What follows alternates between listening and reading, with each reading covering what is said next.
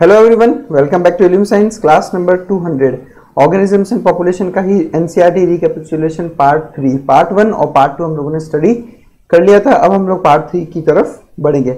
चलिए शुरुआत करते हैं। देखो पार्ट वन और पार्ट टू में हमने बात की थी कि चार लेवल्स होते हैं किसके इकोलॉजी के अंदर, जिसमें सबसे पहले था ऑर्गेनिज्म ऑर्गेनिज्म के बाद में था पॉपुलेशन फिर कम्युनिटी और उसके बाद में बायोम्स ऑर्गेनिज्म हम लोगों ने कंप्लीट कर लिया। ऑर्गेनिज्म से रिलेटेड उसके सारे बायोटिक और अबायोटिक फैक्टर्स हमने सारे पहले दो वीडियोस में स्टडी कर लिए। आज हम लोग यहाँ पे स्टडी करेंगे अबाउट पॉपुलेशन देखो, ये वीडियो देखने से पहले पहले दो वीडियो ज़रूर देखो ताकि आपको ये वीडियो और आसानी से समझ में आ सके, क्योंकि काफ़ी कंसेप्ट हम वहाँ पर ऑलरेडी क्लियर कर चुके हैं। चलो, फिर सबसे पहले शुरुआत करते हैं। पॉपुलेशन जैसे हमने लास्ट टाइम वीडियो में बात की थी कि पॉपुलेशन किसे कहते हैं? सेम स्पीशी के इंडिविजुअल्स के ग्रुप को हम लोग कहते हैं पॉपुलेशन जैसे population of human beings population of rats ठीक है? दो अलग अलग स्पीशीज के ग्रुप को आप पॉपुलेशन नहीं कह सकते, जब भी आप बोलोगे पॉपुलेशन तो मतलब सेम स्पीशी के ही ग्रुप की बात करोगे। और अगर हम सेम स्पीशी के ग्रुप की बात कर रहे हैं तो फिर पॉपुलेशन के जो मेंबर्स हैं, वो आपस में इंटरब्रीड भी कर सकते हैं। आप स्पीशीज का डेफिनेशन क्या देते हैं आप? स्पीशीज का डेफिनेशन यही रहता है कि वो सभी मेंबर्स या वो सभी इंडिविजुअल्स जो आपस में रिप्रोड्यूस कर सके, वो सभी एक ही स्पीशी को बिलोंग करते हैं। तो बिकॉज़ पॉपुलेशन में के जो सारे मेंबर्स है एक ही स्पीशी के हैं तो ये आपस में इंटरब्रीड कर सकते हैं। नाउ जैसे मैं असेक्सुअल रिप्रोडक्शन की बात करूँ, ठीक है असेक्सुअल रिप्रोडक्शन में हमने जैसे एक अमीबा लिया, अब अमीबा असेक्सुअली रिप्रोड्यूस करके दो अमीबा में और कन्वर्ट हो रहा है। फिर दो से चार बन रहा है तो वो भी एक पॉपुलेशन के अंदर ही इंक्लूड होगा। यानी ऐसा नहीं है कि केवल सेक्सुअल रिप्रोडक्शन क्योंकि मैंने इंटरब्रीड बोल दिया तो हम लोग ये दिमाग में बिठा लें कि केवल अगर सेक्सुअल रिप्रोडक्शन होगा तो ही पॉपुलेशन होगा, ऐसा नहीं है। असेक्सुअल रिप्रोडक्शन से जो ऑफ़ आएगी, वो भी हमारी पॉपुलेशन के अंदर ही कंसिडर की जाएगी। एग्जाम्पल्स जो एनसीआरटी ने दे रखे अबाउट पॉपुलेशन वो कुछ ऐसे हैं। जैसे एक पॉन्ड में सारे लोटस प्लांट्स वो पॉपुलेशन है। एक एबंडेंट हाउस में जितने भी रेड्स प्रेजेंट है, वो रेट्स की पॉपुलेशन है। एबंडेंट मतलब जो खाली पड़ा है। ऐसा होता है ना, कई बार बहुत सारे घर हम ऐसे खाली पड़े रहते हैं, ठीक है? तो उन एबंडेंट हाउस में छोड़े गए घरों में जो रेड्स होते हैं वो भी एक तरह का पॉपुलेशन हो गया। उसके अलावा एक कल्चर प्लेट पे जो हमने बैक्टीरिया की ग्रोथ करवाई है, वो जो बैक्टीरियल कल्चर बना है, वो भी क्या है? बैक्टीरियल पॉपुलेशन किसी वेटलैंड में जो कॉर्मोरेंट्स हैं, सारे के सारे, वो सभी के सभी एक पॉपुलेशन है। कॉर्मोरेंट्स बेसिकली ये जो फिगर में बर्ड्स दिखा रखे हैं, इन बर्ड्स का नाम है कॉर्मोरेंट्स और उसके अलावा किसी फॉरेस्ट में जितनी भी ट्री फ़ूड ट्रीज हैं, ये सारे के सारे ट्रीज भी एक पॉपुलेशन का फॉर्मेशन करते हैं। सारे एग्जाम्पल्स एनसीआरटी से हैं एनसीआरटी से बाहर हम एनसीआरटी रिकैपिचुलेशन में बात नहीं करते। नेक्स्ट अब हम बात करते हैं पॉपुलेशन इकोलॉजी पॉपुलेशन इकोलॉजी में बेसिकली हम लोग क्या करेंगे? इकोलॉजी पॉपुलेशन जेनेटिक्स और एवोल्यूशन ये जो तीन ब्रांच है अलग अलग यानी कि इकोलॉजी पॉपुलेशन जेनेटिक्स और एवोल्यूशन इन तीनों को एक साथ जब हम लोग लिंक करके पढ़ते हैं तो उस ब्रांच ऑफ़ साइंस को हम कहते हैं पॉपुलेशन इकोलॉजी अब बहुत इंपॉर्टेंट सवाल जो नीट में बहुत बार आ चुका है, वो ये कि नेचुरल सिलेक्शन पॉपुलेशन पे ऑपरेट करता है, किसी इंडिविजुअल पे ऑपरेट नहीं करता. देखो सिंपल सी बात है, हम जब कहते हैं कि नेचुरल सिलेक्शन की नेचर सेलेक्ट कर रही है तो नेचर सेलेक्ट कर रही है तो हम लोग ये नहीं बोलते कि नेचर ने उस इंडिविजुअल को सिलेक्ट किया। नेचर ने उस इंडिविजुअल को सिलेक्ट किया जिसके पास एक करेक्टर था ऐसा नहीं बोलते। हम कहते हैं कि नेचर ने उस पॉपुलेशन को सिलेक्ट किया जिस पॉपुलेशन में ये करेक्टर्स प्रेजेंट थे। जैसे हम लोग ने एक बहुत बढ़िया एग्जांपल देखा है सिकल सेल एनीमिया के अंदर के सिकल सेल एनीमिया में जो सिकल सेल के जो कैरियर्स है, उन सिकल सेल कैरियर्स को एक तो जो पहला सिकल सेल डिज़ीज़ वो नहीं है, क्योंकि सिकल सेल डिज़ीज़ रेसेसिव है। तो कैरियर वालों को उसके मैनिफेस्टेशन नहीं आते। लेकिन लेकिन जो मलेरिया रेजिस्टेंस है, वो सिकल सेल कैरियर में हमेशा दिखता है। तो नेचुरल ने नेचर ने उस पर्टिकुलर पॉपुलेशन को सेलेक्ट करके रखा हुआ है, जो कि कैरियर से है। क्यों? क्योंकि उनको सेलेक्टिव एडवांटेज मिलता है ऑफ़ रेजिस्टेंस अगेंस्ट मलेरिया तो ध्यान रखना है नेचुरल सिलेक्शन केवल पॉपुलेशन लेवल पर ही ऑपरेट करता है इंडिविजुअल लेवल पे ऑपरेट नहीं करता। और ये क्वेश्चन एग्ज़ाम में बहुत बार पूछा जा चुका है। चलो फिर, अब हम लोग कंपेयर करेंगे एक तरफ़ ऑर्गेनिज्म को और दूसरी तरफ़ पॉपुलेशन को कि कुछ टर्म्स हैं जो ऑर्गेनिजम्स के लिए यूज़ होती है और उस टर्म से रिलेटेड टर्म कौन सा जो पॉपुलेशन के लिए यूज़ होगा? जैसे एग्जांपल लेता हूँ बर्थ या डेथ ऑर्गेनिज्म की अगर डेथ होती है तो पॉपुलेशन में हम कहते हैं कि डेथ रेट या पर कैपिटा डेथ रेट जो डेथ रेट का जो प्रॉपर नेम है, वो है पर कैपिटा पर कैपिटा का मतलब हो जाता है पर इंडिविजुअल या per member of that population तो ऑर्गेनिज्म का एट्रीब्यूट अगर डेथ है तो पॉपुलेशन का एट्रीब्यूट है पर कैपिटा डेथ रेट जैसे हम कहते हैं ना ऑर्गेनिज्म में कितनी डेथ है? वैसे ही पॉपुलेशन में कितनी डेथ रेट है? सिमिलरली ऑर्गेनिज्म में अगर बर्थ होता है तो पॉपुलेशन में हम कहते हैं पर कैपिटा बर्थ रेट जैसे इस पर्टिकुलर पॉपुलेशन का इस ये पर्टिकुलर बर्थ रेट है। उसके अलावा ऑर्गेनिज्म में जेंडर होता है, यानी कि या तो वो मेल होगा या फिर फीमेल होगा। और उसी तरह से पॉपुलेशन में होता है सेक्स रेशियो यानी मेल इज़ टू फीमेल का रेशियो कि मेल कितने हैं और फीमेल कितने हैं। तो ये कुछ टर्म्स हैं जो जो हम लोग कंपेयर करने के लिए यूज़ कर रहे हैं बिटवीन ऑर्गेनिजम्स एंड पॉपुलेशन तो चलो फिर हम लोग इन सभी टर्म्स को एक बार समझना चालू करते हैं। सबसे पहले मैं बात करता हूँ रेट की। फिजिक्स में आपने बहुत बार पढ़ा होगा अबाउट रेट तो रेट किसको कहते हैं? रेट का मतलब होता है कि विद टाइम जो चेंजेस आ रहे हैं, उसको हम कहते हैं रेट सिमिलरली पॉपुलेशन में जो नंबर चेंज हो रहा है पॉपुलेशन का विद टाइम उसको हम कहते हैं rate but it is with respect to members of population population के मेंबर्स के रेस्पेक्ट में हमेशा रेट निकाली जाती है. इस लाइन पे मैं वापस आऊँगा एक बार.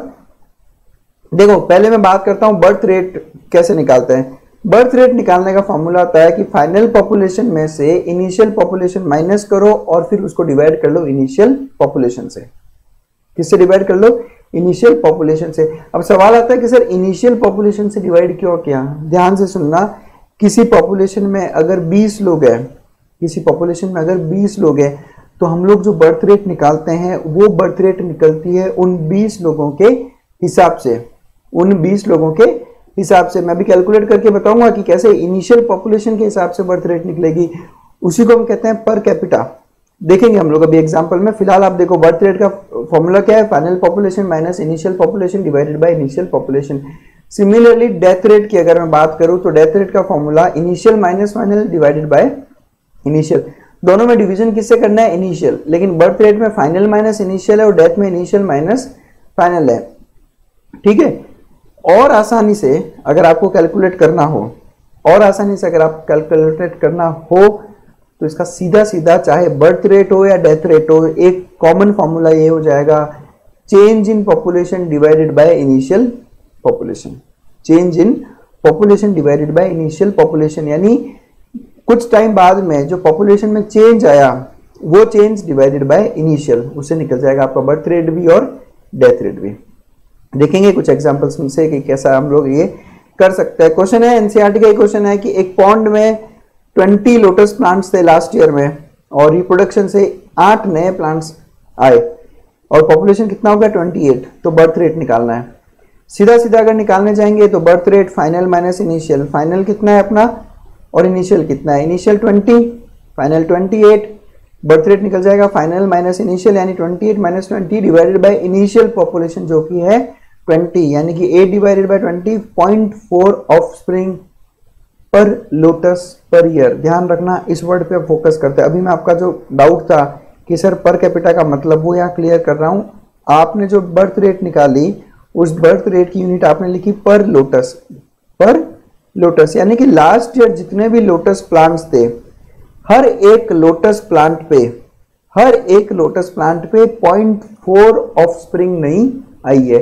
इसलिए हम कहते हैं पर कैपिटा डेथ रेट यानी पर मेंबर कितना बर्थ हुआ है या पर मेंबर कितना डेथ हुआ है। तो चाहे बर्थ रेट हो या डेथ रेट हो, हमेशा किसके रेफरेंस में निकलेगी? पर कैपिटा के रेफरेंस में निकलेगी। इसलिए हमें ऐसा लिखते हैं। Point four offspring per lotus per year केवल मैं अगर इसको लिख दूँगा पर ईयर तो मैं गलत हूँ। It would be per lotus per year फटाफट निकालना होता तो फॉर्मूला क्या था? Change in population divided by initial population तो इस क्वेश्चन में चेंज इन पॉपुलेशन कितना है? पहले 20 था, अब 28 है तो चेंज कितना है 8 तो 8 डिवाइडेड बाय 20 सीधा आंसर हो जाएगा 0.4 offsprings per lotus per year चलो फिर आगे बढ़े। आगे एक और क्वेश्चन है इसी तरह का। क्वेश्चन ये कह रहा है कि किसी लेबोरेटरी पॉपुलेशन में 40 फ्रूट फ्लाइज थी। फ्रूट फ्लाइज आपको याद हो तो हम लोग ड्रोसोफिला मेलानोगेस्टर को कहते हैं। तो किसी इंडिविजुअल में ड्रोसोफिला पे हम लोग एक्सपेरिमेंट कर रहे थे तो ये था कि चार इंडिविजुअल्स थे लेबोरेटरी पॉपुलेशन में। इनिशियल पॉपुलेशन कितनी थी? 40 फ्रूट फ्लाइज जिसमें से कितनों की डेथ हो गई? चार की। किसी स्पेसिफाइड टाइम इंटरवल जैसे कि समझो एक वीक में। यानी एक वीक में 40 में से चार फ्रूट फ्लाइज की डेथ हो गई तो आपको डेथ रेट कैलकुलेट करनी है उस पीरियड में। आसान है? कैसे कैलकुलेट करेंगे हम लोग? सिमिलर सिंपल सा है solution initial population 40 final population 36 तो निकाल लेंगे फाइनल माइनस इनिशियल यानी 40 minus thirty divided by initial population किससे डिवाइड कर रहे हैं? इनिशियल पॉपुलेशन क्यों? क्योंकि इनिशियल पॉपुलेशन से डिवाइड करोगे, तभी आप पर कैपिटा वैल्यू निकाल पाओगे। तो 40 माइनस थर्टी यानी 4 डिवाइडेड बाय 40 यानी 0.1 individual per fruit fly per week क्या लिख रहे हैं हम लोग यहाँ पर? पर फ्रूट फ्लाई मतलब क्लियर क्लियर बोल रहे हैं कि एक फ्रूट फ्लाई पे 0.1 इंडिविजुअल की डेथ हुई है। इसी को हम कहते हैं पर कैपिटा डेथ रेट डायरेक्ट निकालना होता है तो change in population divided by initial population change कितना है? पहले 40 अब 36 यानी कि 4 divided by 40.1 individual per fruit fly per week तो कुछ ऐसे आप आंसर्स निकाल सकते हो। नेक्स्ट बहुत इंपॉर्टेंट टॉपिक है एज पिरामिड्स बहुत बार एग्ज़ाम में क्वेश्चन आया नीट पे। सीधा आपको पिरामिड दिया जाएगा और पूछा जाएगा कि ये पर्टिकुलर पिरामिड किसको रिप्रेजेंट कर रहा है। सबसे पहली बात तो एज पिरामिड्स होते हैं क्या? देखो, आपको पिरामिड्स अच्छे से पता है कि पिरामिड्स किसको कहते हैं हम लोग। अब एज पिरामिड्स का मतलब हो गया कि एज के हिसाब से अगर हम किसी पॉपुलेशन में, किसी पॉपुलेशन में अगर हम लोग एज के हिसाब से पॉपुलेशन डिवाइड करके पिरामिड्स बनाते हैं तो उसे हम कहते हैं एज पिरामिड्स यानी प्लॉट कर रहे हो आप इंडिविजुअल्स को। अब इसमें मेल भी आएँगे और फीमेल भी आएँगे पर उनके एज के हिसाब से। जिसमें सबसे पहला एग्ज़ाम्पल है ये। ठीक है? एनसीआरटी में क्वेश्चंस आएँगे कि ये पर्टिकुलर जो पिरामिड दे रखा है, वो किस तरह की पॉपुलेशन को शो कर रहा है? बहुत बहुत आसान है। सिर्फ़ जितना कह रहा हूँ, उतना सुनो आंसर निकल जाएगा। देखो ध्यान से, ये एक पॉपुलेशन है जिसमें तीन अलग अलग कलर से हमने रिप्रेजेंट किया है। सबसे पहले एक नीचे येलोइश कलर है, जो प्री रिप्रोडक्टिव एज बता रहा है। वो सारे मेंबर्स जो रिप्रोडक्टिव एज से पहले वाली एज में, यानी प्री प्यूबर्टल स्टेज है उनकी, प्यूबर्टी अभी आई नहीं है, प्यूबर्टी से पहले वाली स्टेज है, यानी वो स्टेज जब वो रिप्रोड्यूस नहीं कर सकते। उसके बाद में उन्होंने शो किया है रिप्रोडक्टिव स्टेज यानी जो ब्लू वाले हैं वो सारे रिप्रोड्यूस कर सकते हैं। और जो सबसे ऊपर पिंक वाले हैं सारे पोस्ट रिप्रोडक्टिव है, यानी अब वो रिप्रोड्यूस नहीं कर पाएँगे, वो ओल्ड एज में पहुँच चुके हैं। अब ध्यान से सुनना, किसी भी पॉपुलेशन में, किसी भी पॉपुलेशन आज से 10 साल बाद या आज से 20 साल बाद वो पॉपुलेशन बढ़ेगी कम होगी या उतनी ही रहेगी, ये डिपेंड करता है मोस्टली प्री रिप्रोडक्टिव के मेंबर्स के ऊपर। किसके ऊपर? प्री रिप्रोडक्टिव मेंबर्स के ऊपर। समझो एक एग्जांपल लेता हूँ मैं। फ़िलहाल एक पॉपुलेशन ऐसी है, जिस पॉपुलेशन में जो रिप्रोड्यूस करने वाले ऑर्गेनिजम्स हैं, उनका नंबर है हंड्रेड कितना नंबर है? हंड्रेड यानी हंड्रेड जो लोग हैं, वो रिप्रोड्यूस कर सकते हैं। लेकिन उन्हीं का जब मैंने प्री रिप्रोडक्टिव मेंबर्स देखे तो वो थे सिक्सटी वो कितने थे? सिक्सटी तो कुछ टाइम बाद में जो अभी रिप्रोड्यूस कर रहे हैं, वो पोस्ट रिप्रोडक्टिव में चले जाएँगे और जो अभी प्री रिप्रोडक्टिव वाले हैं, वो रिप्रोडक्टिव में चले जाएँगे। यानी आज के टाइम पे अगर 100 लोग लोग रिप्रोड्यूस कर रहे हैं तो कुछ सालों बाद में 60 लोग रिप्रोड्यूस करेंगे। यानी आपका पॉपुलेशन बढ़ेगा या कम होगा? आपका पॉपुलेशन कम होगा, क्योंकि अभी 100 रिप्रोड्यूस कर रहे हैं। कुछ साल बाद केवल 60 करेंगे तो तो पॉपुलेशन डिक्लाइन करने वाली बात है। तो तो इन तीनों पिरामिड्स को समझने के लिए आप सिर्फ़ इतना सा देखो कि प्री रिप्रोडक्टिव ज़्यादा है या रिप्रोडक्टिव ज़्यादा है। जैसे इस फिगर के अंदर, जो सबसे पहला फिगर है, ये वाला, इस फिगर के अंदर आप देखो प्री रिप्रोडक्टिव वाले ज़्यादा है रिप्रोडक्टिव वाले कम है और पोस्ट रिप्रोडक्टिव वाले उससे भी कम है। कुछ साल बाद में ये सारे प्री रिप्रोडक्टिव क्या हो जाएँगे? रिप्रोडक्टिव यानी अब वो रिप्रोड्यूस करेंगे। यानी कुछ साल बाद में जो अभी के टाइम पे रिप्रोड्यूस करने वाले थे, उससे ज़्यादा लोग रिप्रोड्यूस कर रहे होंगे, यानी पॉपुलेशन क्या होगी? इंक्रीज होगी। इसलिए ये पिरामिड शो कर रहा है एक्सपांडिंग पॉपुलेशन को। किसको शो कर रहा है? एक्सपांडिंग पॉपुलेशन को। हमें केवल कंपेयर करना है प्री रिप्रोडक्टिव को रिप्रोडक्टिव के साथ में। नेक्स्ट बात करता हूँ मैं। नेक्स्ट एक और फिगर ले लेता हूँ मैं। इस फिगर में देखो कौन ज़्यादा है रिप्रोडक्टिव या प्री रिप्रोडक्टिव तो यहाँ पे आपको क्लियर दिख रहा है कि प्री रिप्रोडक्टिव कम है और रिप्रोडक्टिव ज़्यादा है। यानी कुछ टाइम बाद में रिप्रोड्यूस करने वाले लोगों की संख्या और कम होगी। यानी पॉपुलेशन क्या होगी? डिक्लाइन यानी कि कम हो जाएगी। तो सेकंड जो पिरामिड है वो सीधा सीधा रिप्रेजेंट कर रहा है एक डिक्लाइनिंग पॉपुलेशन को। ये डिक्लाइनिंग पॉपुलेशन है। नेक्स्ट ग्राफ में चलते हैं हम लोग। नेक्स्ट ग्राफ में देखो आप लोग, जितना रिप्रोडक्टिव है, ये देख लो आप, ये जितना रिप्रोडक्टिव है, उतना ही प्री रिप्रोडक्टिव है। ज़्यादा फ़र्क नहीं है। हालाँकि ऊपर वाला ये जो आपको दिखा रहा है थोड़ा सा ये थोड़ा सा कम है। बट करीब करीब हम लोग इसको क्या मान रहे हैं? सेम मान के चले। अगर इसको और इसको तो आप देखो जितना रिप्रोडक्टिव है उतना ही प्री रिप्रोडक्टिव है। यानी कि आ, कुछ टाइम बाद में जितने लोग आज रिप्रोड्यूस कर रहे हैं कुछ टाइम बाद भी उतने ही लोग रिप्रोड्यूस करेंगे। यानी आपका पॉपुलेशन ना तो बढ़ने वाला है ना ही कम होने वाला है। तो इस तरह के पिरामिड को हम कहते हैं स्टेबल पिरामिड तो ये जो तीसरा वाला हो गया वो हो गया स्टेबल पिरामिड तो आसान है। प्री रिप्रोडक्टिव रिप्रोडक्टिव से ज़्यादा है तो पॉपुलेशन एक्सपांड करेगी। प्री रिप्रोडक्टिव रिप्रोडक्टिव से कम है तो पॉपुलेशन डिक्लाइन हो जाएगी। और प्री रिप्रोडक्टिव और रिप्रोडक्टिव सेम है तो पॉपुलेशन स्टेबल रहेगी। तो कुछ इस तरह से आप इन पिरामिड्स को समझ सकते हैं। चलिए नेक्स्ट चलते हैं हम लोग। अब पॉपुलेशन साइज़ हमें क्यों निकालनी है? क्योंकि किसी भी इकोसिस्टम में या किसी भी हैबिटेट में किसी पर्टिकुलर स्पीशी का पॉपुलेशन साइज़ हमें उसके हैबिटेट में उसके स्टेटस के बारे में बताता है कि कितना उसका उस इकोलॉजी के अंदर यानी सॉरी कितना उसका उस हैबिटेट के अंदर कितना रोल है या क्या क्या आ, कहते हैं उसको स्टेटस है उसका अपनी हैबिटेट के अंदर तो वो डिपेंड करता है उसकी पॉपुलेशन साइज़ पे। अब मुझे किसी भी इकोलॉजिकल प्रोसेस की स्टडी करनी है। जैसे मैंने कहा कि मैं स्टडी करना चाहता हूँ दो स्पीशीज के बीच के कंपटीशन की या मैं स्टडी करना चाहता हूँ प्रिडेशन स्टडीज़ करना चाहता हूँ मैं कि किस तरह से प्रिडेटर्स और जो प्रे है, उनका जो पॉपुलेशन है वो चेंज हो रहा है। ठीक है? तो कंपटीशन का कंपटीशन का या किसी भी इकोलॉजिकल प्रोसेस का कितना इम्पैक्ट है किसी हैबिटेट में, उसको आप इवेल्यूएट तभी कर पाओगे जब आपको उसका पॉपुलेशन साइज़ में डिफरेंस पता चलेगा। जैसे कि मैं बात करता हूँ कंपटीशन की बात कर रहा हूँ मैं। और कंपटीशन में हमें साफ़ साफ़ देखने को मिल रहा है कि कंपटीशन की वजह से दोनों स्पीशीज का जो पॉपुलेशन साइज़ है वो अच्छा खासा कम हो गया। तो वो बता रहा है कि कंपटीशन कितना फियर्स है, यानी कंपटीशन कितना ज़्यादा है इन दोनों के बीच में।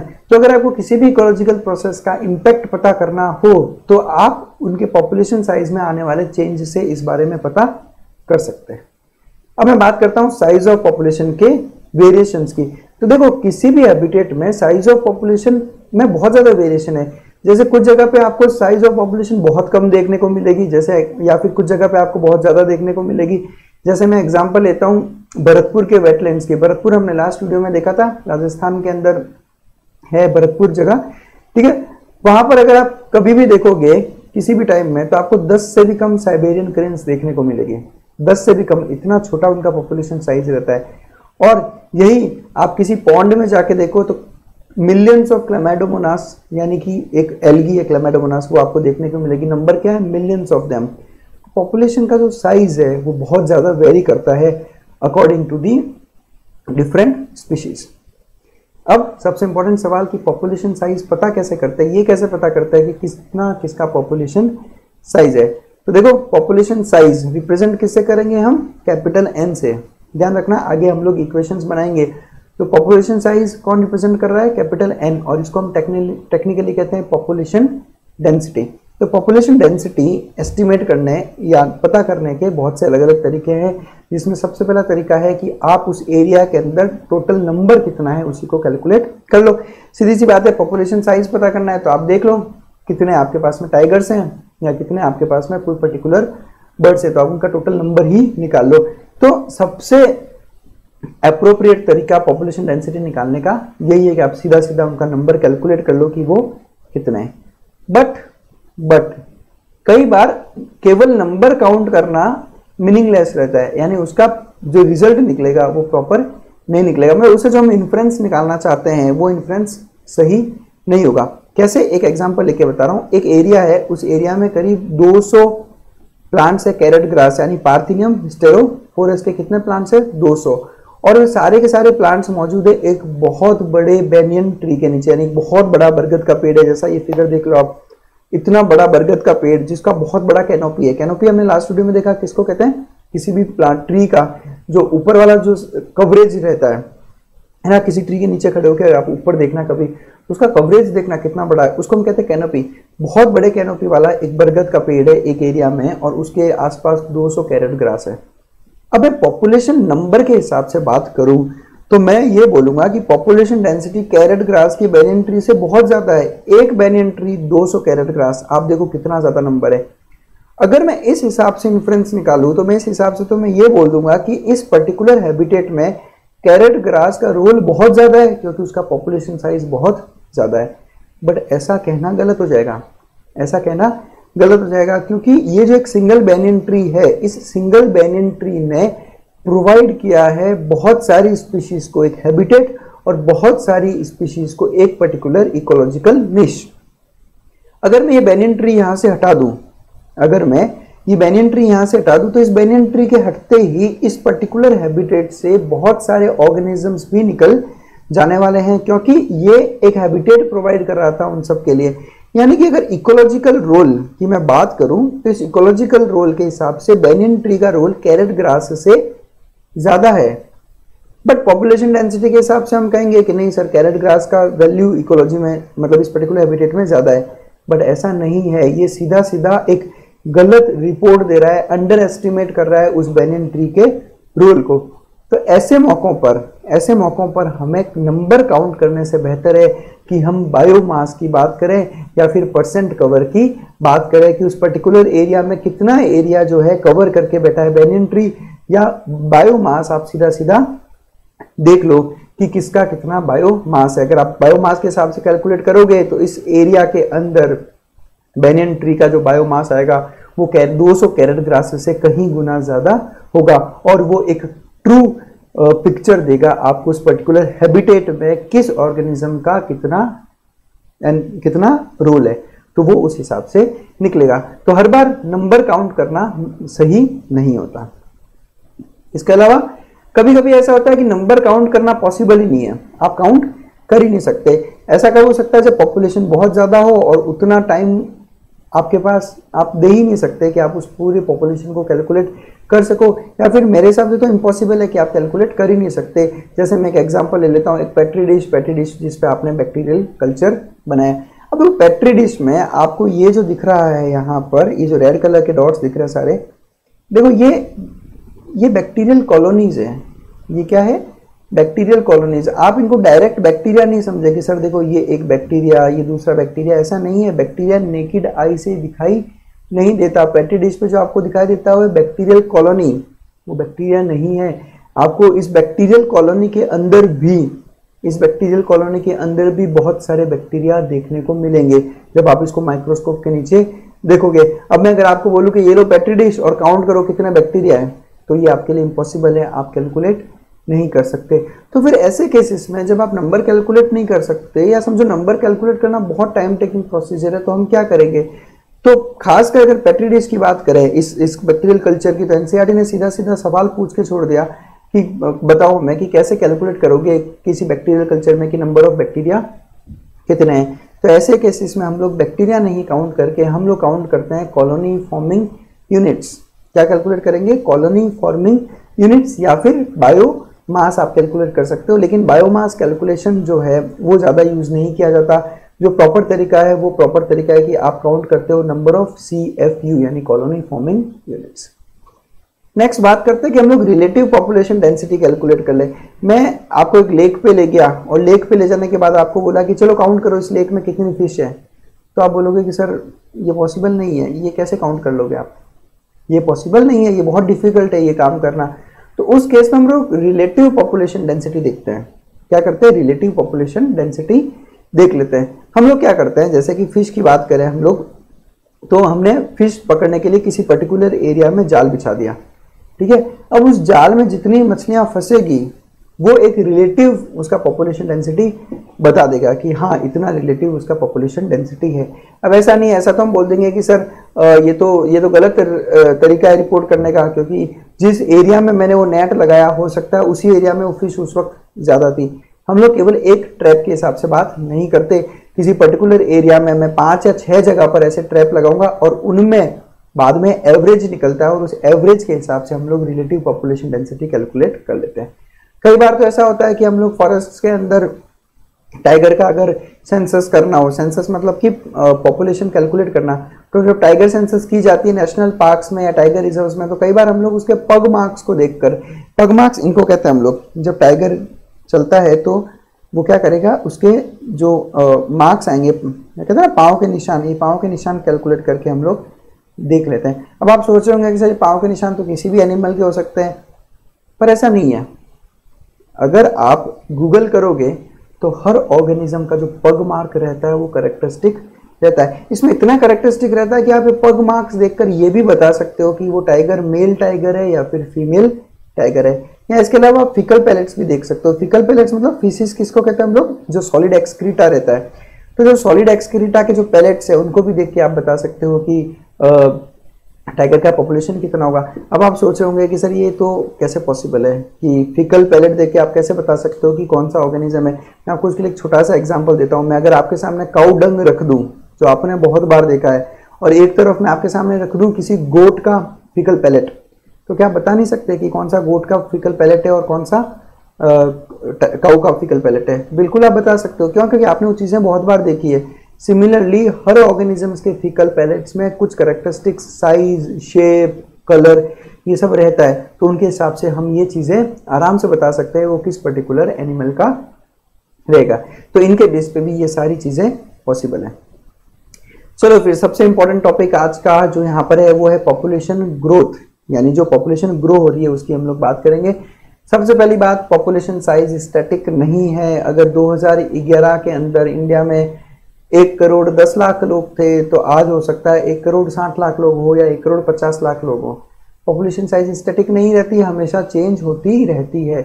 अब पॉपुलेशन किसी भी ऑर्गेनिज्म की डिपेंड करती है बहुत सारे फैक्टर्स पे, जिसमें सबसे पहला फैक्टर है फ़ूड अवेलेबिलिटी बिल्कुल सीधा सा काम बताता हूँ मैं आपको, एक एरिया है उस एरिया में फेमाइन पड़ गया यानी सूखा पड़ गया इस साल। पूरा जंगल में सूखा है। तो मैक्सिमम स्पीशीज वहाँ से क्या कर जाएगी?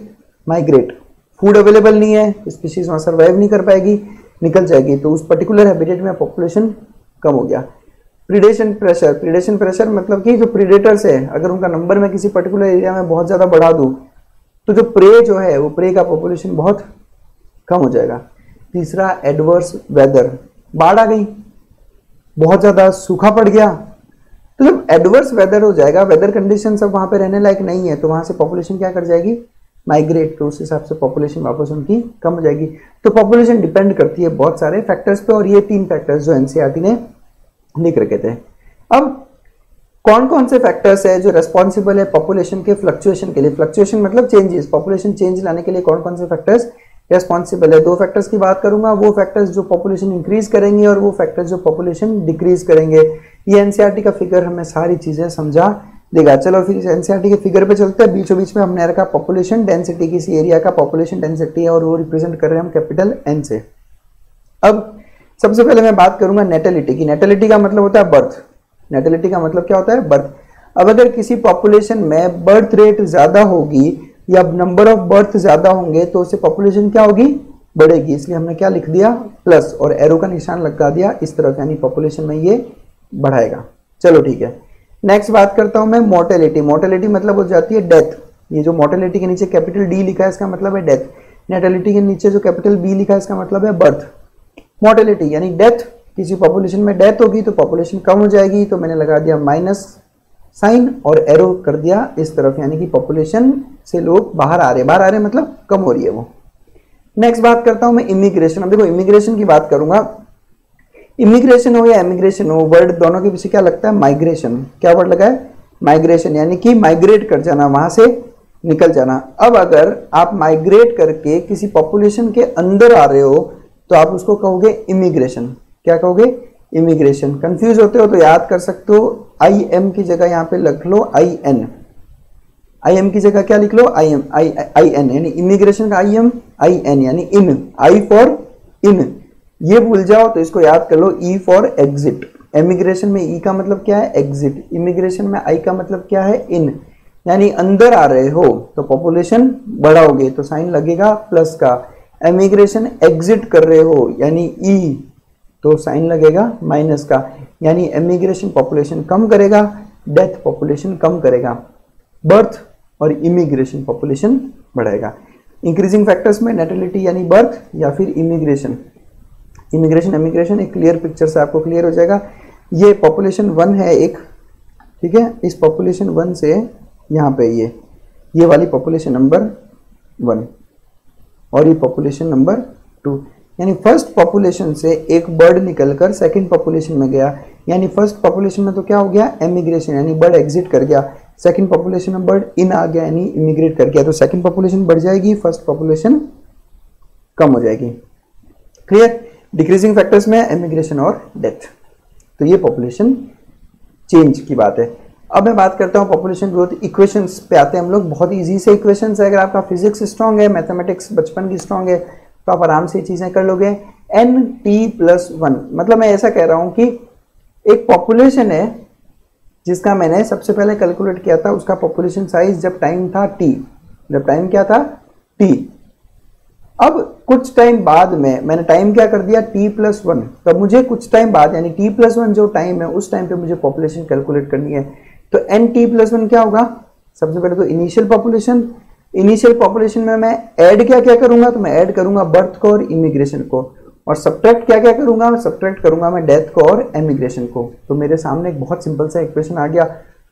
ओरिजिनल पॉपुलेशन में बर्थ और इमिग्रेशन को ऐड कर दो और डेथ और इमिग्रेशन को कम कर दो। आपके सामने नई पॉपुलेशन आ जाएगी। अब यहाँ पे देखो कंफ्यूज नहीं होना। मैंने डेथ और इमिग्रेशन के बीच में प्लस लगाया है क्योंकि ब्रैकेट के बाहर माइनस है। ब्रैकेट के बाहर माइनस है। अगर आप ये ब्रैकेट खोलोगे तो माइनस बी माइनस ई हो जाएगा। तो आई होप इतनी छोटी चीज़ें, बेसिक्स आपको आते होंगे। अब नॉर्मल कंडीशंस में मैं अगर बात करूँ, किसी भी पॉपुलेशन डेंसिटी कम हो रही है या बढ़ रही है तो किसी नॉर्मल कंडीशंस में जो दो इंपॉर्टेंट फैक्टर्स है, वो है बर्थ और डेथ। क्या है? बर्थ और डेथ। इमिग्रेशन और इमिग्रेशन का इतना बड़ा रोल हम लोग नहीं मानते। अगर नॉर्मल कंडीशन हो तब तब बर्थ और डेथ ही मेजर क्राइटेरिया रहेगा। लेकिन कुछ स्पेशल कंडीशन ऐसी होती है जब आप इमिग्रेशन और एमिग्रेशन को ज़्यादा महत्व देते हो। ऐसा कब होगा? जैसे किसी हैबिटेट में नया नया बसा है तो नया नया हैबिटेट बसा है तो उस नए नए हैबिटेट में बर्थ की वजह से इतना पॉपुलेशन इंक्रीज नहीं होगा जितना इमिग्रेशन या एमिग्रेशन की वजह से होगा। तो ऐसे रोल ऐसे केसेस में इमिग्रेशन ज़्यादा रोल प्ले करेगा देन बर्थ रेट एक नई नई सिटी बनाई मैंने, उस नई नई सिटी में जो नए लोग आएँगे जितने ज़्यादा नए लोग आएँगे, उतना पॉपुलेशन बढ़ेगा। समझो, दो नए लोग आए, अब हम वेट कर रहे हैं कि ये नए इंडिविजुअल्स को बर्थ देगा तो उसमें बहुत टाइम लगेगा तो इमिग्रेशन ज़्यादा रोल प्ले करेगा देन दी बर्थ रेट अब सबसे इंपॉर्टेंट चीज़ पॉपुलेशन ग्रोथ मॉडल क्वेश्चंस बहुत सारे हैं इनके ऊपर। ग्राफ्स हैं कुछ अच्छे, बहुत इजी से क्वेश्चंस हैं, बहुत आसान से टॉपिक है, हम लोग आराम से समझ सकते हैं। पॉपुलेशन ग्रोथ मॉडल में हम लोग दो मॉडल्स की स्टडी करेंगे, कि किस तरह से पॉपुलेशन इंक्रीज होती है, ठीक है? मैं पहला मॉडल है एक्सपोनेंशियल ग्रोथ या जोमेट्रिक ग्रोथ एक्सपोनेंशियल हमें पता है एक्सपोनेंशियली बढ़ती है जब कोई चीज़। और जोमेट्रिक ग्रोथ जोमेट्रिक ग्रोथ का क्या मतलब होता है? देखो जोमेट्रिक और एक्सपोनेंशियल ग्रोथ एक ही टाइप की ग्रोथ होती है, जिसमें कुछ इस तरह से ग्रोथ चलती है। वन टू फोर मतलब डबल डबल होता जा रहा है। एक से दो, फिर चार, आठ, सोलह, बत्तीस sixty four one twenty eight two fifty six five twelve one zero two four two zero four eight इस तरह से, अगर इस तरह से ग्रोथ होती है तो उसको आप कहते हो एक्सपोनेंशियल ग्रोथ या ज्योमेट्रिक ग्रोथ अब ये चीज़ तभी पॉसिबल है जब रिसोर्सिस कैसे हो? अनलिमिटेड रिसोर्सिस कैसे हो? अनलिमिटेड सिंपल सा कंसेप्ट मैं आपको दे रहा हूँ। नीट का एग्ज़ाम है और गवर्नमेंट ने बोल दिया कि सीट्स अनलिमिटेड है।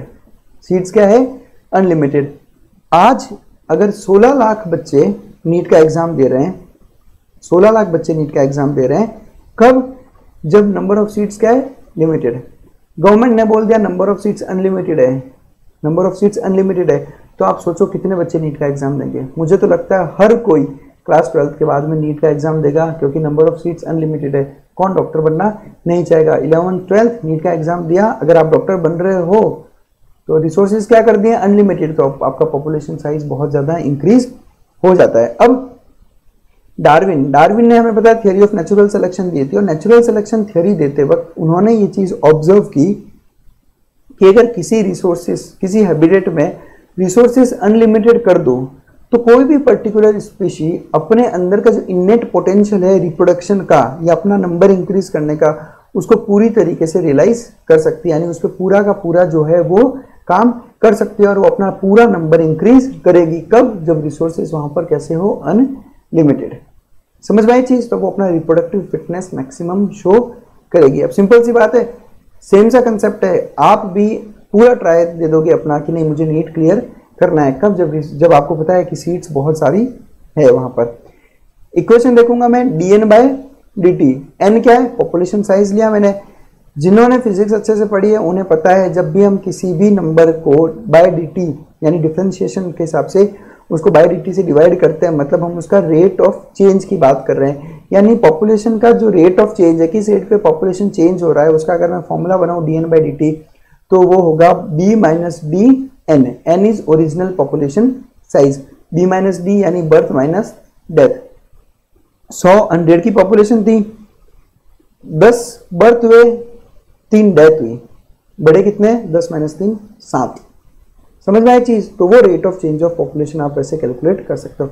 अब समझो मैं यहाँ पे b माइनस डी को, पहले मैं बता देता हूँ, n पॉपुलेशन साइज़ है, b है बर्थ रेट जो पर कैपिटा होगी ऑब्वियसली d है डेथ रेट वो भी पर कैपिटा होगी और t है टाइम पीरियड अब समझो b माइनस डी को मैंने लिया r एक बार के लिए समझ लो, r क्या मैं बताऊँगा थोड़ी देर में। B माइनस डी को मैंने कंसिडर कर लिया r तो ये फॉर्मूला क्या हो जाएगा? D N by D T equals to R N clear है? जो मेन फॉर्मूला आपको याद रखना है, वो क्या है? D N by D T equals to R N अब ध्यान से सुनना आर की बात करूँगा this R is intrinsic rate of natural increase यानी कोई स्पीशी कितना नेचुरल इंक्रीज शो करेगी, उसका इंट्रेंसिक रेट यानी जो उसका इंटरनल रेट उस ऑर्गेनिज्म के अंदर का जो इंटरनल पोटेंशियल है, अपना नंबर इंक्रीज करने का, उसको हम कहते हैं intrinsic rate of natural increase अब सीधी सी बात है बर्थ ज़्यादा होंगे डेथ कम होगा तो आर ज़्यादा होगा। तो वो उसकी रिप्रोडक्टिव फिटनेस की बात कर रहा है। मैं बार बार इसी बात पे फोकस करता हूँ कि जब हम लोग बात करते हैं सर्वाइवल ऑफ़ द फिटेस्ट तब हम लोग यहाँ पर जो फिटेस्ट है, वो फिटेस्ट है रिप्रोडक्टिव फिटनेस की हम लोग बात करते हैं कि जो स्पीशी जितना ज़्यादा रिप्रोडक्टिवली फिट होगी, वही सर्वाइव करेगी।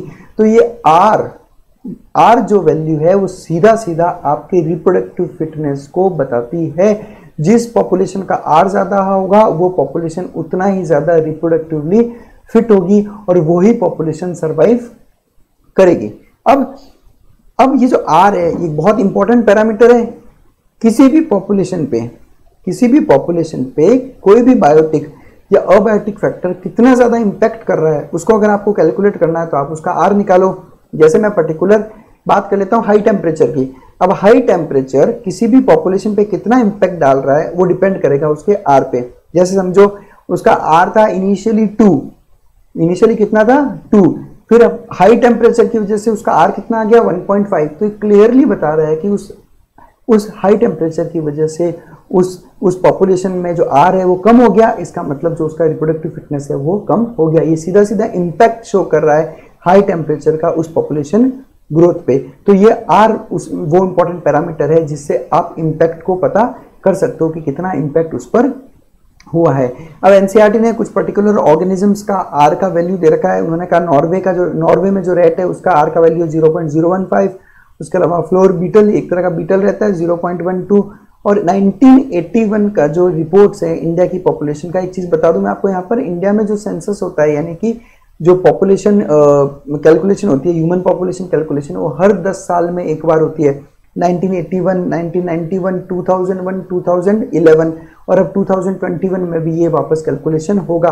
तो 1981 की जो हमारी वैल्यू निकली थी आर की उस वक्त वो थी 0.0205 कितनी निकली थी? 0.0205 अब आप सोच रहे होंगे कि सर हमने ये ह्यूमंस में आर की वैल्यू निकाली कैसे? तो बहुत आसान है। आपको करना क्या है? आर मतलब बी माइनस डी यानी birth rate minus death rate आप उस पर्टिकुलर कंट्री या एरिया का बर्थ रेट निकाल लो डेथ रेट निकाल लो माइनस कर लो, आपको क्या मिल जाएगा? आर का वैल्यू चलो फिर, वापस एक्सपोनेंशियल की और बात करते हैं हम लोग। ग्राफ पे आ जाते हैं, जो एनसीआरटी ने ग्राफ दिया एक्सपोनेंशियल ग्रोथ का। अब अगर आपने फिजिक्स में ग्राफ्स पढ़े होंगे फिजिक्स अच्छे से पढ़ोगी तो आपको अच्छे से पता है, जब भी किसी का एक्सपोनेंशियल ग्रोथ होता है तो आपको कुछ इस तरह से ग्राफ मिलता है, इस तरह का कर्व मिलता है, जिसे आप कहते हो जे शेप्ड कर्व तो इस कर्व का शेप सीधा सीधा कैसा है? जे शेप धीरे धीरे, पहले तो इनिशियली क्या हुआ? इनिशियली यहाँ पर पॉपुलेशन जब थे धीरे से इंक्रीज हुई और धीरे से इंक्रीज होने के बाद में ये पॉपुलेशन बहुत ज़्यादा बढ़ गई। अब आप सोचोगे कि सर, ये पॉपुलेशन पहले धीरे क्यों है? तो एक्सपोनेंशियल ग्रोथ देखो। एक, दो, चार, आठ। ये धीमे है। वन टू फोर एट एक slow growth sixteen thirty two, sixty four, one twenty eight, वो बढ़ गया। इसकी वजह से जे शेप ऐसा आता है। इक्वेशन क्या रहेगी? D N by D T equals to R N curve कैसा रहेगा? जे शेप कर्व रहेगा। ठीक है? अब मैं अगर इसी इक्वेशन को उसके इंटीग्रल फॉर्म में लिखूं तो आपको आता होगा इंटीग्रल फॉर्म लिखना तो आप इसको ऐसे लिखते हो। क्या होगा आपने फिजिक्स में बहुत बार ऐसा। N T equals to N not E R T अब इसमें सारे वर्ड्स आपको पता ही है, ये जो ई e है, वो ई e जो बेस लेते हो आप लॉग का वो बेस रहता है। N T population density after time T N zero population density है टाइम ज़ीरो यानी इनिशियल पॉपुलेशन एन ज़ीरो है और फाइनल पॉपुलेशन है एन टी अब कोई भी स्पीशी कोई भी स्पीशी को अगर आप किसी तरह से चेक नहीं दो चेक मतलब कोई रुकावट। अगर किसी स्पीशी पे आप किसी तरह की रुकावट नहीं रखो तो बहुत कम टाइम में उसका पॉपुलेशन डेंसिटी बहुत ज़्यादा बढ़ जाएगा। अब एनसीईआरटी ने एनसीईआरटी ने एक छोटी सी कहानी के थ्रू इस पॉपुलेशन ग्रोथ को समझाने की बात की। उन्होंने कहा कि एक बार एक मिनिस्टर और एक राजा के बीच में चेस का गेम हुआ और शर्त रखी गई। मिनिस्टर ने यह शर्त रखी कि अगर मैं जीता, अगर मैं जीता तो आप बस इतना सा काम करना कि मुझे तुम्हें कुछ गेहूँ के दाने देने हैं। तो राजा ने बोला, कैसे? कितने? तो उन्होंने बोला कि बस आप, अगर मैं जीत गया तो आप क्या करना? सबसे पहला जो स्क्वायर है चेस बोर्ड में, उसमें रखना एक गेहूँ का दाना। नेक्स्ट वाले में रखना दो। उसके नेक्स्ट वाले में रखना चार। उसके नेक्स्ट वाले में रखना आठ। उसके नेक्स्ट वाले में रखना सोलह। तो राजा ने बोला, अरे, बस सोलह, बत्तीस, चौसठ, इतने गेहूँ के दाने देने आपको। मुझे मंजूर है, कोई प्रॉब्लम नहीं है। राजा ने शर्त रख ली। राजा हार भी गया। अब राजा ने बोला, ठीक है मिनिस्टर की शर्त पूरी कर दो, उसको इतने गेहूँ के दाने दे दो। अब आप कैलकुलेट करना। अब आप कैलकुलेट करना। 64 स्क्वायर्स होते हैं, चेस बोर्ड में कितने 64 टू रेस टू दावर 64 करके देखना वैल्यू कितना आता है। यानी कि कुछ ऐसा हाल हो गया राजा का कि राजा ने जब आधा चेस बोर्ड कंप्लीट किया, जब राजा ने आधा चेस बोर्ड कंप्लीट किया, तब जो जो गेहूँ के दानों का जो नंबर निकला, वो राजा को रियलाइज़ हुआ कि उसके पूरे राज्य में जितना गेहूँ बनता है, उससे भी कम पड़ रहा है ये नंबर तो अब आप सोच सकते हो कि एक्सपोनेंशियल ग्रोथ किस तरह से बढ़ता है। तो इस स्टोरी के थ्रू एक्सपोनेंशियल ग्रोथ को समझाने की ट्राई की गई। नेक्स्ट बात करते हैं लॉजिस्टिक ग्रोथ की। लॉजिस्टिक ग्रोथ ध्यान रखना लॉजिकल ग्रोथ है। याद करने का तरीका बता रहा हूँ लॉजिकल ग्रोथ है। जो मैंने पहली बात कर दी एक्सपोनेंशियल ग्रोथ वो प्रैक्टिकल नहीं है। वो प्रैक्टिकल नहीं है। क्यों प्रैक्टिकल नहीं है? क्योंकि इस पूरी दुनिया पे ऐसा कोई हैबिटेट नहीं है जहाँ पर आपको अनलिमिटेड रिसोर्सेज मिले। क्या आपकी ज़िंदगी में या आने वाले हज़ारों साल में ऐसा पॉसिबल हो पाएगा कि नीट की सारी, कि नीट में अनलिमिटेड सीट्स हो? ऐसा पॉसिबल नहीं हो सकता। कंपटीशन हमेशा रहेगा रिसोर्सेज हमेशा लिमिटेड रहेंगे। किसी भी पॉपुलेशन को नेचर में कभी भी अनलिमिटेड रिसोर्सेज नहीं मिल सकते। तो एक्सपोनेंशियल ग्रोथ प्रैक्टिकल ग्रोथ नहीं है। जो लॉजिकल ग्रोथ है, जो प्रैक्टिकल ग्रोथ है वो है लॉजिस्टिक ग्रोथ अब सिंपल सा फंडा है रिसोर्सेज अगर लिमिटेड होंगे तो हमेशा क्या होगा? कंपटीशन लिमिटेड रिसोर्सेज कंपटीशन ज़्यादा कंपटीशन होगा तो survival of the fittest competition में जो सबसे ज़्यादा रिप्रोडक्टिव फिटनेस शो करेगा, वही सर्वाइव करेगा. नीट की सीट्स अगर लिमिटेड होगी तो वही सेलेक्ट होगा जो कि सबसे ज़्यादा तैयारी करेगा, सबसे ज़्यादा प्रैक्टिस करेगा, सबसे ज़्यादा पढ़ाई करेगा. अब नेचुरल कैरिंग कैपेसिटी की बात करता हूँ. कैरिंग कैपेसिटी को मैं एक एनालॉजी से समझाता हूँ आपको यहाँ पर. हर एक इंडिया के अंदर इंडिया के अंदर बहुत सारे मेडिकल कॉलेजेस हैं। अब उन मेडिकल कॉलेजेस के अंदर एक कैरिंग कैपेसिटी है। कि क्या है कैरिंग कैपेसिटी यानी कितने नंबर ऑफ़ स्टूडेंट्स को वो कैरी कर सकता है? यानी कितने नंबर ऑफ़ स्टूडेंट्स को एडमिशन दे सकता है? समझो ये नंबर आया एक्स समझो ये नंबर आया एक्स तो हमारे इंडिया में नीट की सीट्स कितनी होगी? एक्स क्यों? क्योंकि जितने भी मेडिकल कॉलेजेस हैं, उन मेडिकल कॉलेज की कैरिंग कैपेसिटी कितनी है? एक्स हम इतने स्टूडेंट्स ही ले सकते हैं, हमारी कैपेसिटी इतनी ही है। समझ लो तो उससे ज़्यादा आप नंबर ऑफ़ सीट्स बना नहीं सकते। उसी तरह से नेचर की भी एक कैरिंग कैपेसिटी होती है। एक रूम के अंदर, एक रूम के अंदर अगर मैं बोलूँ, आप कितने नंबर ऑफ़ कैट्स फिट कर सकते हो? यानी कितनी बिल्लियों को आप एक साथ रख सकते हो ताकि वो आराम से सर्वाइव भी कर सके। ऐसा तो है नहीं ना कि आप ज़बरदस्ती बहुत सारी को डाल दोगे। उससे आप डाल तो दोगे पर वो सर्वाइव नहीं कर पाएगी। तो नेचर में हर एक हैबिटेट का एक कैरिंग कैपेसिटी होता है, जिसको हम कहते हैं के और यही कैरिंग कैपेसिटी डिसाइड करेगा कि पॉपुलेशन कितना ग्रो होगा। अगर आप आप कभी भी नेचर में कोई भी पॉपुलेशन कैरिंग कैपेसिटी से ज़्यादा बढ़ नहीं सकता, यानी लॉजिस्टिक ग्रोथ में सीधा सा कंसेप्ट है पॉपुलेशन बढ़ेगा तो पॉपुलेशन कैरिंग कैपेसिटी तक आकर रुक जाएगा, उससे ज़्यादा पॉपुलेशन नहीं बढ़ सकता। नेचर के अंदर, एक गिवन हैबिटेट के अंदर इनफ रिसोर्सेज होते हैं कि वो एक मैक्सिमम पॉसिबल नंबर को सस्टेन कर सके।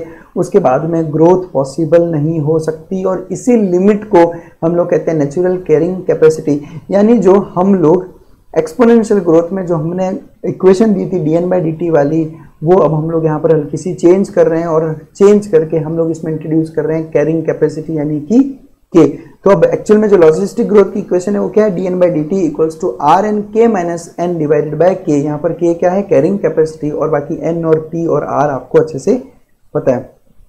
अब जो ग्राफ यहाँ पर बनकर आएगा, जो कर्व बन के आएगा, उसको आप कहते हो सिग्मोइड कर्व क्या कहते हो? सिग्मोइड सिग्मोइड मतलब क्या होता है? एस शेप्ड तो बिकॉज़ इसका शेप एस जैसा है, इसलिए हमने इसको कह दिया सिग्मोइड कर्व चार फेजेस आपको इसमें देखने को मिलेंगे।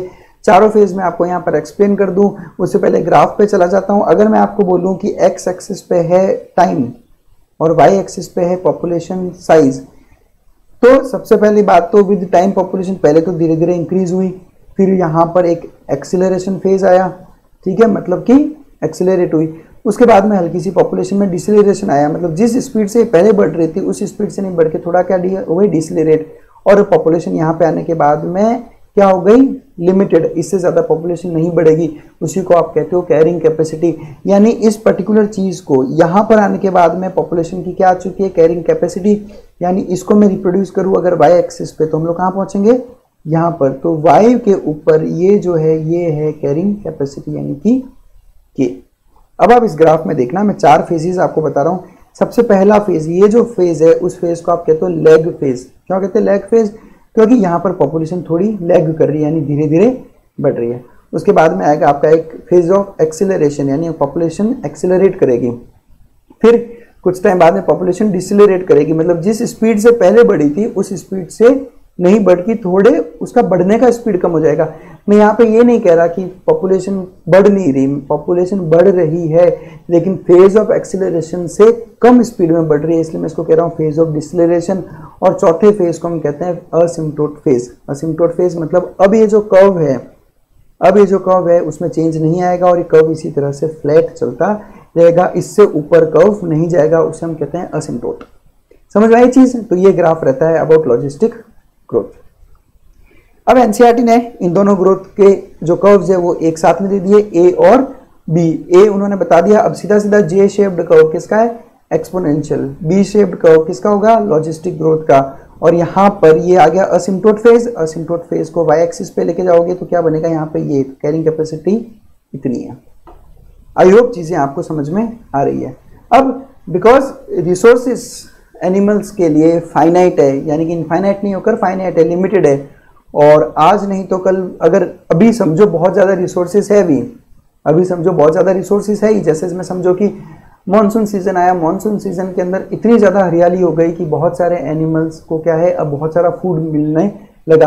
बट दैट डजेंट मीन कि वो फ़ूड हमेशा वहाँ पर रहेगा, वो आज नहीं तो कल वापस लिमिटिंग हो जाएगा। इसलिए लॉजिस्टिक ग्रोथ मॉडल मॉडल को मोर रियलिस्टिक यानी ज़्यादा रियल माना गया है।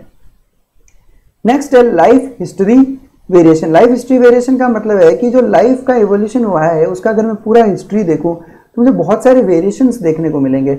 अब वो कैसे है, वो समझना कि पॉपुलेशंस डार्विन ने कहा था, वापस बता रहा हूँ सर्वाइवल ऑफ़ द फिटेस्ट में फिटेस्ट का मतलब है रिप्रोडक्टिव फिटनेस यानी पॉपुलेशन अगर इवॉल्व होती है तो वो अपना मैक्सिमाइज करती है रिप्रोडक्टिव फिटनेस को, ताकि उनका सर्वाइवल बढ़ सके। और उसी फिटनेस को नाम दिया गया है डार्विनियन फिटनेस और ये डार्फिनियन फिटनेस आप कैलकुलेट कर सकते हो, उसका आर का वैल्यू कैलकुलेट करके जितना ज़्यादा आर उतना ज़्यादा उस स्पीशी का डार्विनियन फिटनेस होगा।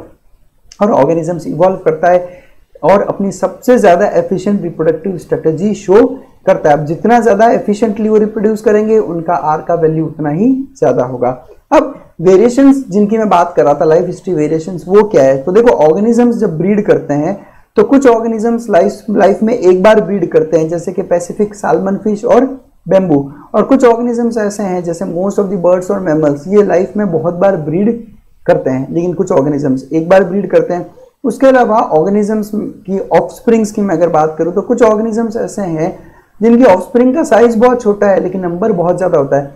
यानी वो एक साथ बहुत सारी ऑफस्प्रिंग्स प्रोड्यूस करते हैं, लेकिन साइज़ सबका छोटा है, जैसे ऑयस्टर्स और पेलाजिक फिशेस पेलाजिक बेसिकली हम सी को कहते हैं तो सी फिशेस आप कह सकते हो तो पेलाजिक उसके लिए वर्ड यूज़ कर लिया गया ऐसा।